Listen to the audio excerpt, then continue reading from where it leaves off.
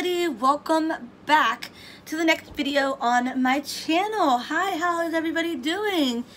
Welcome to my channel. First of all, if you're new, hit the subscribe button so that you never miss, you know, a chance to connect with me or watch one of my videos. Also hit the bell icon so that you can always be notified when I go bit like live or do videos because I want you guys in the know. I want you guys to see what's going on and just be alert. Okay, so I'm gonna talk about the next thing in my series. I have a series on my channel right now going on called Being a YouTuber on an iPhone. Now I'm gonna probably change the name of that to iDevice because I use more than just my iPhone. I do use my iPad. As you can see, when I do Harry Potter Hogwarts Mystery, I use my iPad to do that. I edit and I record and I just play the game through my iPad and there's nothing wrong with that. But I'm all for being able to do a YouTube channel while on an iDevice so that you don't have to worry about having computers or stuff with you. People are always like, I don't have a computer. How am I supposed to do this? Well, I have that solution, okay? I do. Um, use your iPhone or your phone in your you know pocket. The thing you have in your pocket is the best camera you can have.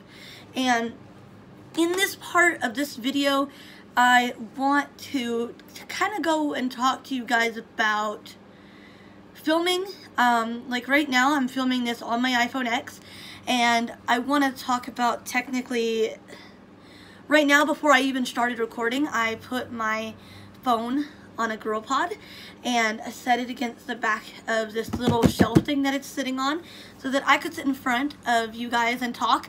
Behind you guys, I do have a window up above a little and I have the shade kind of pulled open. So I have the natural lighting because I don't have any lights for, you know, when I make videos and stuff, but I have to find a way to substitute that. So right now, time is of the essence. Um, the lights that I use technically from the sun or outside is natural lighting and that's the best lighting you could possibly get for your videos. You know, always try to stick with that natural lighting.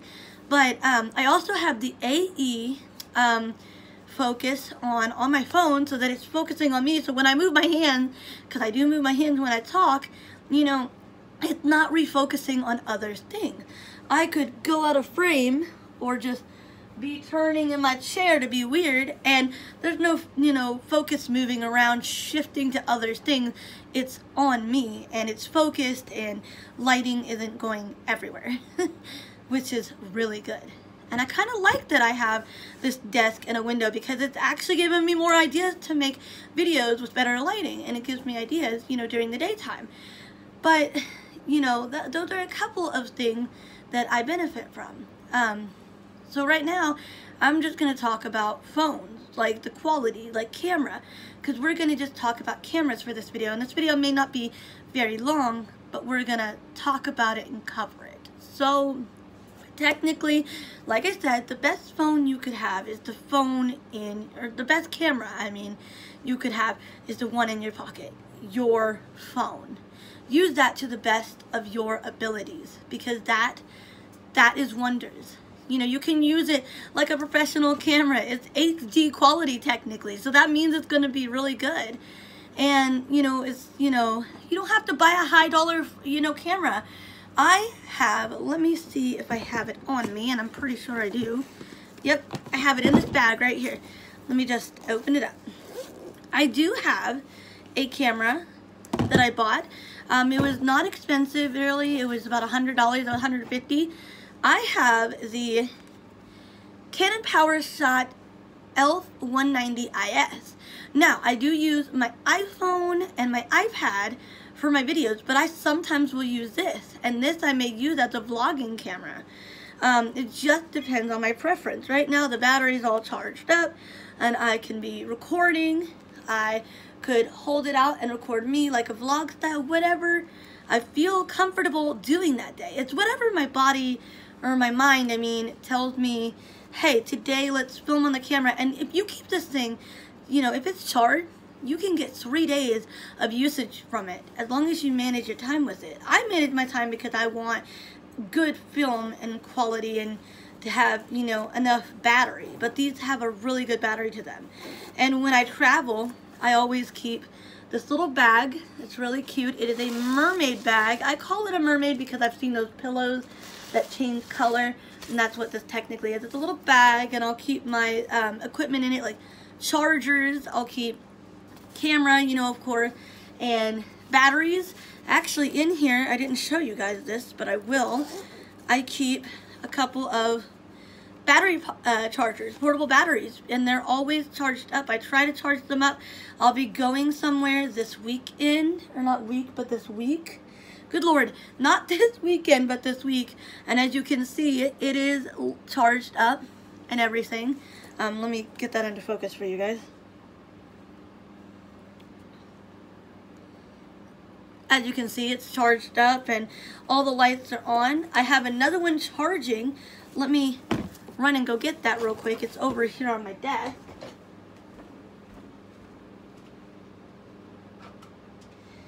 It has been charging for the past couple days because I hadn't taken it off.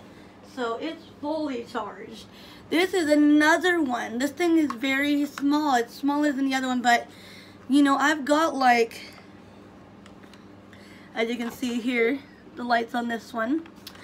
Um, I'm to go ahead and put this in my bag so that it is ready for tomorrow because I'll be leaving tomorrow. And then I have one more that I'm going to try to show you guys. It's this really big one and all the lights are on on it and all I have to do is pull it off the charger tomorrow because I'm not going to take that off just yet.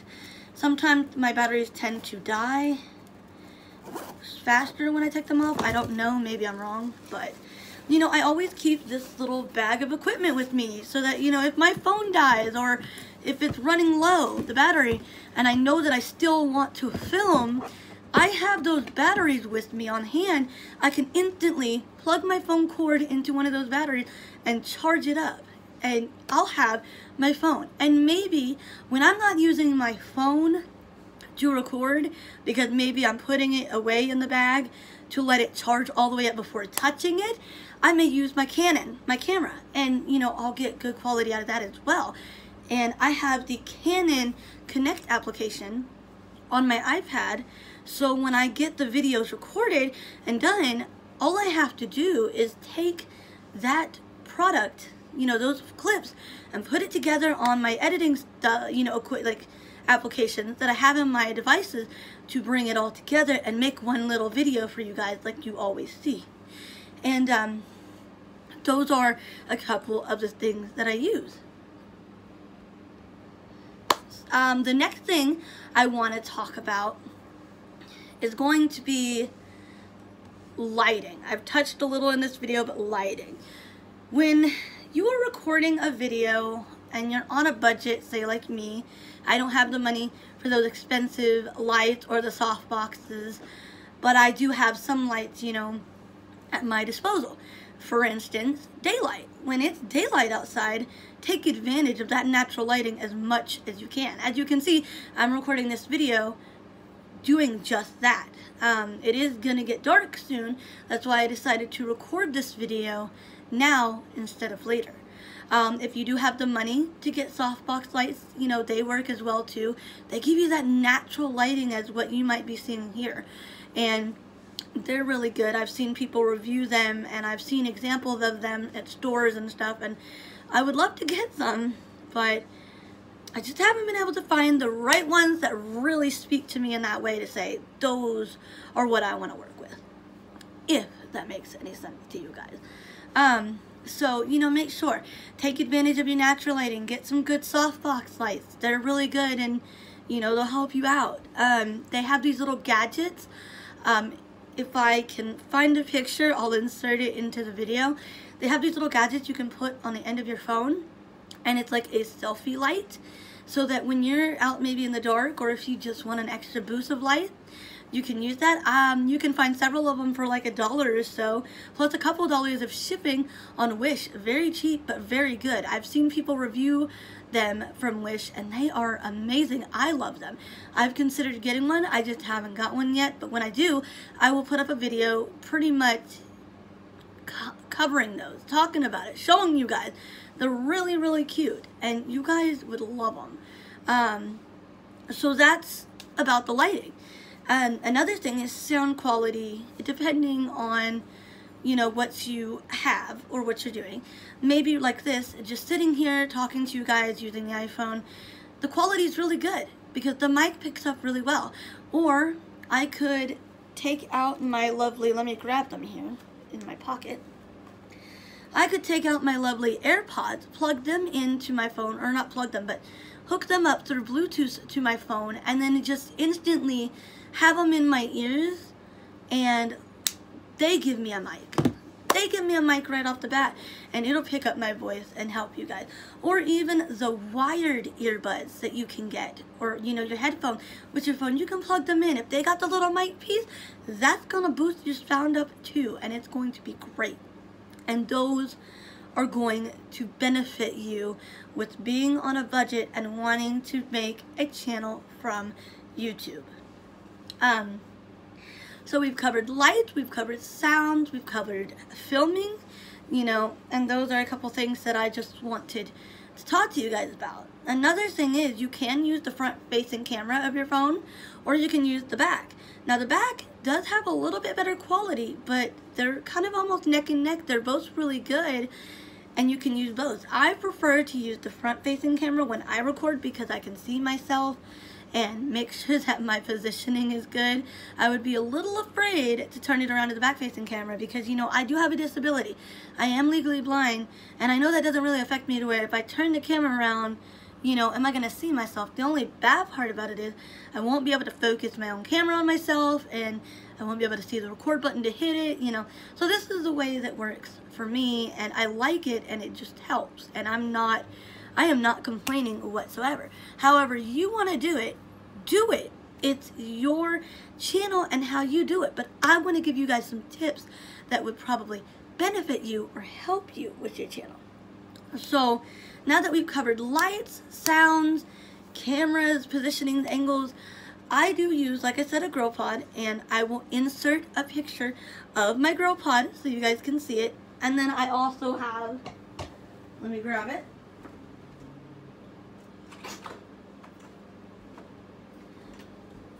I also have this 60 inch tripod. It is super light and very well put together and it's it's, it's just, like I said, it's very light. And it's a good tripod and it can get really tall. I used this for a video earlier today that I recorded um, and put together and it was a lot of fun. And you know, once I learned my style of how I like to angle the tripod or for my phone. It's really easy and simple and I use this to live stream as well because as you guys can see the top here, I'm standing this right here so you can see it hopefully as you guys see the top, this part right here can go up and down. I have this three fingers or three hands with a part, but it can go up and down, which is really awesome. And then I can be recording or, I mean, live streaming in horizontal mode, or I can slip it like this and live stream in vertical mode portrait, which is really good to have. I've had an old tripod that I used for a while and it was good. It wasn't my favorite, but now that I found this one, it is so light, so portable. They did not give me a baggie with it, but it's just light and portable and does everything I need. And even that extra feature of just being able to live stream like this is amazing. So that's why, you know, getting a tripod or something will help as well. And this was only $14. The one I got before, it was 30 something. The tripod I had before that one was 30 something dollars and I'm telling you when I got that tripod I honestly thought it was going to be the best tripod. And if I were to have gotten the one I just showed you at the same time I would have told you probably thought at first that the um, $30 one was better. But you know what? That tripod broke in so many places. The top part where the phone would sit broke and a part came out the bottom of it and it was just, it fell apart. It was hanging on by tape by the time I threw it away.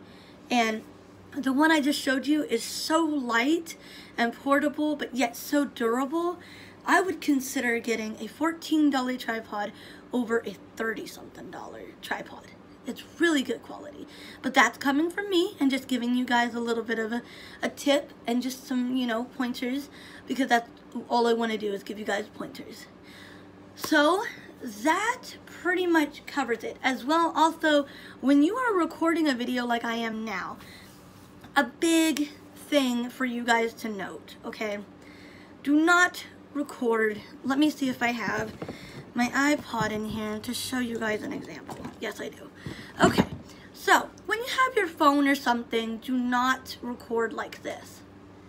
Do not record in vertical mode, portrait, portrait mode, as people would call it when they take pictures. Don't record in portrait mode. Please don't. If you do, you'll create something similar to where instead of seeing the whole thing, you got these black bars on both sides of my face or where I'm streaming or I mean, you know, recording. Record like this. I usually record in landscape mode and it gets everything that I want to be seen.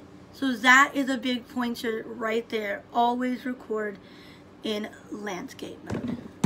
Some people do record in portrait mode and there's nothing wrong with that, but if you want people to stick around to your videos, please record in landscape. Nobody wants to see those black bars all the time in a compressed picture because it's just, it's so condensed and so small of a space.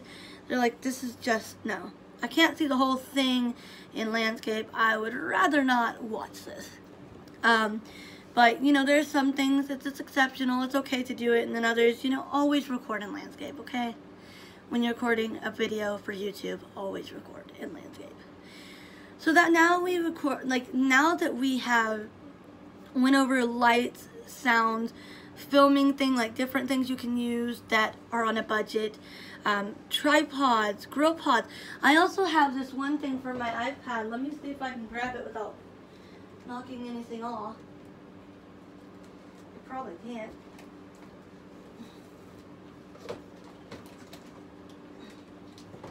It is stuck. Okay, I got it. Hang on.